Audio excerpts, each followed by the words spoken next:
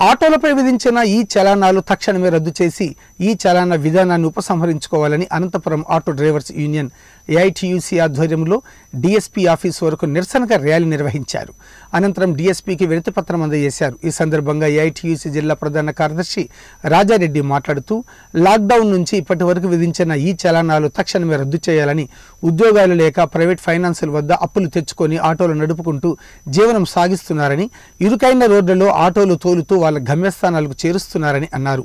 నగరంలో ఏ రోడ్డుకు వెళ్ళినా ట్రాఫిక్ పోలీసులతో పాటు ఇతర స్టేషన్లో పోలీసులు ఎక్కడికక్కడ ఫైన్లు వేస్తున్నారు. దీనిని ఏఐటీయూసీ తీవ్రంగా ఖండిస్తున్నామన్నారు. ఆటో డ్రైవర్లను ప్రభుత్వానికి ఆదాయ వనరుగా చూడొద్దన్నారు. మరోవైపు ఆర్డీఏ అధికారులు దాడులతో ఆటో డ్రైవర్లు సతతమవుతున్నారని చెప్పారు. కావున తక్షణమే లాక్డౌన్ నుంచి విధించిన ఈ చలాన్లు తక్షణమే రద్దు చేయాలని పూర్తిగా ఈ చలాన విధానాన్ని రద్దు చేసి పాత పద్ధతులను కొనసాగించాలని డిమాండ్ చేశారు. వెంటనే నిలుపుదల చేయాలని చెప్పి కోరుతూ రాష్ట్ర వ్యాప్తంగా అనంతపురం జిల్లా auto drivers union Andhra Pradesh auto union driver drivers union ఆధ్వర్యంలో మరి రాష్ట్ర వ్యాప్త పిలుపిచ్చారు ఆందోళన నిర్వహించాలని అందులో భాగంగానే ఈరోజు అనంతపురంలో ఆందోళన నిర్వహిస్తూ ఉన్నాం.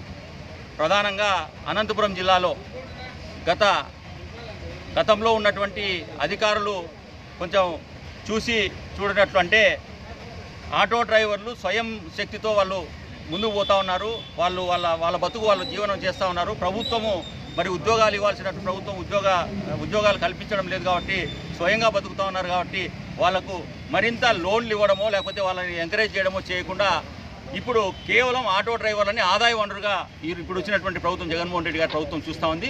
దీన్ని ఏఐటీసీగా తీవ్రంగా ఖండిస్తా ఉన్నాం. ఎందుకంటే